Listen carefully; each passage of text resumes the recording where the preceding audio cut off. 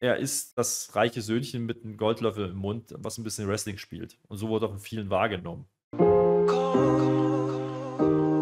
Tony Khan hat reagiert auf Aussagen von Cody Rhodes. Cody Rhodes hat AW als Secondary Promotion bezeichnet. Und äh, Tony Khan reagiert darauf und hat gesagt, we, are, we, we certainly won't be a secondary promotion at all in. We are number one in the UK on TV with a record gate. I have a lot of respect for Cody. I know these weren't his words to be fair, but we are not a secondary in a lot of markets. For the first time in a long time, WWE has been a secondary in a lot of markets. I'm proud of where we're at and we are not taking a backseat to anybody. Ich halte es, ich halte es für ultra clever, was er hier tut. Ich halte es für ultra clever. Er nutzt die Steilvorlage, dass WWE endlich mal oder WWE-Angestellte endlich mal, wenn auch nur indirekt, über ihn sprechen und über seine Promotion sprechen. Und was macht er? Er antwortet sofort drauf und übertreibt natürlich. Also wenn er sagt, äh, die sind die Nummer 1 in UK, dann muss man dazu sagen, die laufen im Free TV, WWE nicht. Ganz klarer Fall, ja. Wenn er sagt, größte Veranstaltung aller Zeiten, ja, dann ist das Marketing. Aber das Recordgate, das kann er so argumentieren, wenn es rein um die Einnahmen geht. Zumindest in UK. Das ist das Einzige, wo ein bisschen konkreter wird. Und dann sagt er im Endeffekt ja nur, wir sind in vielen Märkten die Nummer 1. Er sagt aber nicht, warum.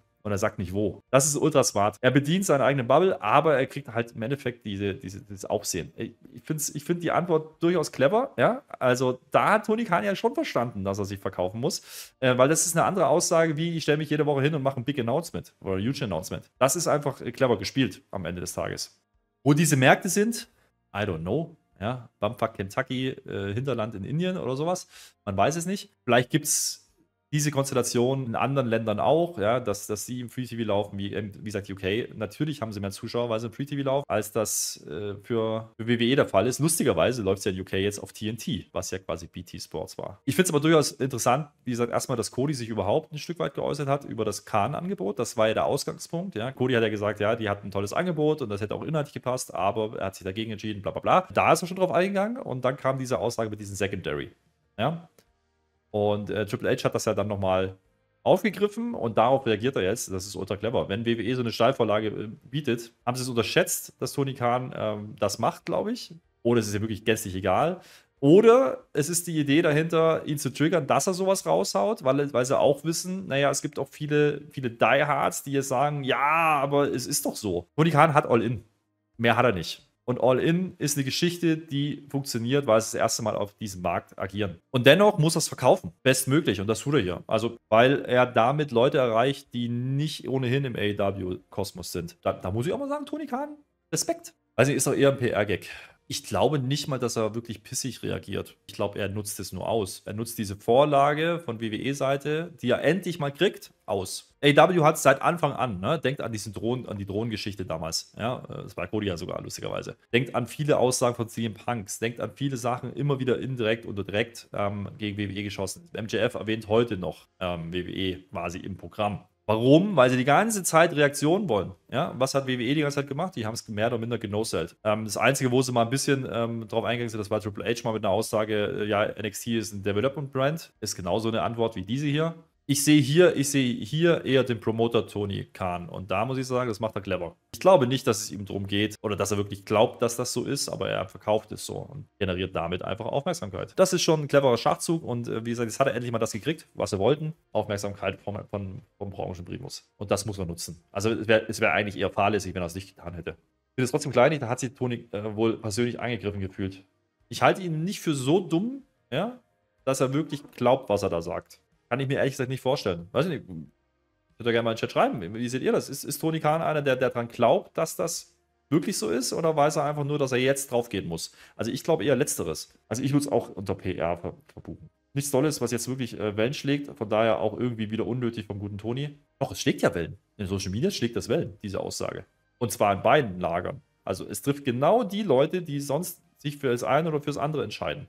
Also so gesehen ist das schon ein guter Move, weil er, weil er Leute erreicht, die er sonst nicht erreicht. Wenn er sonst einfach sagt, oh, huge Announcement und wir sind so toll und halala und hier beste, keine Ahnung, was auch immer heranzieht, Demo, weil keine Konkurrenz war oder dann doch mal wieder die Zuschauer oder dann doch mal wieder irgendwas anderes. Record Gate, das interessiert, das interessiert außerhalb der AEW-Bubble niemanden. So eine Aussage schon. Wenn du jetzt im Hinterkopf hast, okay, der hat gerade bei Collision mit, mit der Punk-Story was gelauncht, was auch viele mitbekommen haben, selbst wenn sie es nicht wollten Ich halte das für sehr, sehr clever, was sie da gemacht haben gerade. Ich würde sagen, immer wenn Triple H involviert ist, nimmt er das persönlich. Aber warum sollte er? Im Übrigen, die Triple H-Aussage, ja, Secondary Promotion, ist ja richtig. Da brauchen wir ja gar nicht diskutieren. Triple H shootet hier nicht. Das stellt so dar, wie es halt am Markt gerade aussieht. Und äh, da brauchen wir glaube ich, nicht drüber diskutieren, dass das so ist. Aber es ist dann clever, das aufzugreifen und PR draus zu machen. Gegenfrage, ist es smart von, äh, von WWE immer auf die Secondary Promotion zu gehen? Ich glaube, Matos, äh, das, ist kein, das ist keine WWE-Agenda. Das, das sind Aussagen. Ich glaube, das ist getriggert durch diese Äußerung von Cody Rhodes innerhalb dieser Doku. Das ist seine persönliche Meinung. Er hat offen darüber geredet, dass das Angebot gut war, aber er sich trotzdem für Branchenprimus entschieden hat. Das war die Aussage. Glaube, denen geht es nicht darum, ähm, AW kleiner darzustellen, sondern der hat einfach nur gesagt, wie es war. Daraufhin gab es äh, Wellen, dann wird ein Triple H darauf angesprochen, er reagiert drauf im Media Call. Aber ganz ehrlich, nennen wir mal weitere Beispiele, wo WWE wirklich sich damit beschäftigt hat. Also Triple H hat einmal gesagt, wie gesagt, äh, ja, wir sind dagegen gegen unsere Development Liga gelaufen. Ja, aber da hat er auch recht. Ansonsten geht es doch eigentlich eher von der anderen Seite aus, was ja auch sinnvoll ist. Ja, wenn du, wenn ich, wenn ich die klein, wenn ich das, die kleinere Marke habe, ja, und ich habe quasi Branchenprimus und einen viel größeren Konkurrenten vor mir. Ja, wer schießt dann gegen wen in der Regel? Das sind immer die kleineren gegen den größeren in der Regel, weil der größere, der ist die Messlatte, der muss sich mit den kleineren eigentlich nicht befassen. Und wenn sie es dann doch mal tun in vier Jahren ja, oder drei Jahren, darauf warte ich doch die ganze Zeit. Ich glaube, ich glaube, Tony Khan bedankt sich gerade bei Triple H für die Vorlage. Weil ich sie nicht offiziell die Sword brennt, naja, wie man es halt braucht. Auch das ist Marketing am Ende des Tages. Nutzt du, nutzt du deine dritte Marke dafür, um zu zeigen, dass die anderen nicht mal auf nicht mal das wirklich dauerhaft schlagen oder auf demselben Niveau agieren, dann ist es halt nur eine Entwicklungsliga. Willst du sagen, wie toll dein eigenes Produkt ist, sagst du es natürlich, äh, das ist unsere dritte Brand und wir haben viel vor. Bei Khan, äh, wie er es sich gibt, von der ganzen, ganzen Persona, glaube ich schon, dass er sich sehr schnell persönlich angegriffen fühlt weil er sich halt für so einen tollen, niceen Typen hält. Ich glaube, er versteht manchmal seine Rolle noch nicht ganz. Er ist das reiche Söhnchen mit einem Goldlöffel im Mund, was ein bisschen Wrestling spielt. Und so wurde auch in vielen wahrgenommen. Er propagiert aber natürlich gern, dass er Wrestling wieder Leben eingehaucht hat, was natürlich seine Story sein Narrativ ist, was er erzählen möchte. Auch hier, er will sich natürlich platzieren im Business. Ja? Ich halte ihn, wie gesagt, nicht für so dumm ich halte ihn für manchmal unerfahren und er trifft manchmal aus Business-Sicht komische Entscheidungen, aber vielleicht auch aufgrund von der Unerfahrenheit und weil er seinen Weg noch finden muss. Aber der Typ ist definitiv nicht dumm. Was man bei Punk halt lassen muss, ähm, dass er ähnlich wie MJF bewusst polarisiert. Genau solche Leute brauchst du, um zum äh, Leute bei der Stange halten. Ja. Character. Bring's auf den Punkt. Es sind Charakter. Du brauchst Charakter. Und Tony Khan versucht auch, seinen Charakter zu finden. Sein öffentlichen Charakter. Das lässt aber nicht unbedingt Rückschlüsse darauf zu, wie er, wie er im Privaten tickt. Wrestling geht es nun mal auch darum, eine große Schnauze zu haben. Absolut richtig. Absolut richtig. Und damit sind wir wieder beim Thema, eine Unterhose anziehen, eine Badehose anziehen und gut catchen können, ist eine Sache. Aber Leute emotional zu berühren, in irgendeiner Art und Weise, ob jetzt als Heel, als Face, was auch immer, ist dann schon eine andere Geschichte. Und das können, können eben viele nicht in der Art, wie das ein Punk macht oder ein MJF macht. Das hätten wir Herr Flöter hier nicht. Naja, aber, aber äh, sinngemäß stimmt das sogar. Natürlich musst du ab und zu mal auch einen raushauen. Es ist einfach so. Und du musst auch mal härter argumentieren, als, es, als du es vielleicht selber manchmal siehst. Aber das ist doch der Grund, warum ihr hier seid. Also über Wrestling reden genügend andere auch. Controversy creates cash. Simple as that. Ja, ich weiß gar nicht, ob es Kontroverse ist, aber du musst halt, du musst halt die Marktgeflogenheit mitspielen. So, wenn du auf YouTube stattfindest, dann musst du halt eine Trigger-Headline haben. Das ist halt einfach so. Dann musst du auch uns auf die Fresse geben. Dann musst du halt auch mal hinschreiben, Desaster. Collision, Collision ist Desaster. Inhaltlich habe ich das ja nicht gesagt. Ich habe gesagt, die Quote ist ein Desaster. Das ist ein großer Unterschied. Aber natürlich, um zu triggern, das ist ein perfektes Beispiel. Ja? Dann musst du das halt so spielen, weil YouTube so funktioniert. Und wenn du halt einfach nur äh, in deinen Titel schreibst, Einordnung von AEW Collision, wird halt weniger passieren. Ist ja nun mal so. Lustigerweise ist es aber, ist es aber wirklich, äh, gerade, wir im Wrestling, ja, gerade wir Wrestling-Fans, wir wissen doch, wie das funktioniert. Es ist alles immer das Größte, das, das Beste und überhaupt. Oder halt im Negativen. Wir, sind immer, wir, wir arbeiten auch immer mit Übertreibung. An jeden Ecken und Enden. Ich finde es dann immer komisch, wenn, wenn in der Wrestling-Bubble dann Leute äh, schockiert sind, dass das, dass das äh, Leute, die, die Content kreieren, ja, auch tun. Natürlich. Heutzutage, wo jeder K-Pap checkt, brauchst du halt mehr denn je reale Hintergründe.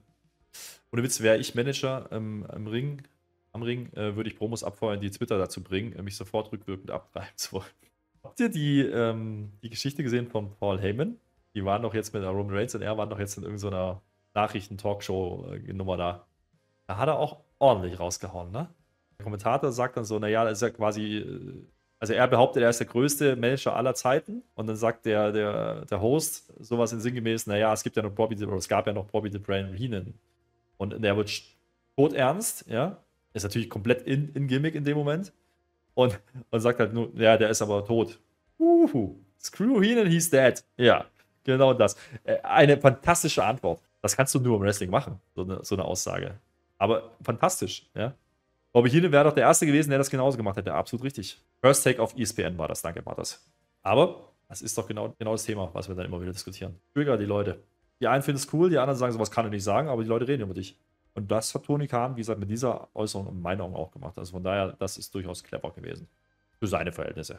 Generell, man muss, muss auch sagen, äh, generell hatten wir gefühlt zu Käferzeiten noch größere Trash-Talker, als wir es heute haben. Deswegen ist es immer angenehm, wenn man dann sowas wieder kriegt. Im Programm kriegen wir es halt nicht wegen PG. Bei AW ist es oft sehr gezwungen, finde ich. Und es können halt auch wenige wirklich gut. Tony Khan, auch mal loben, ja, an der Stelle. Hat er promoted.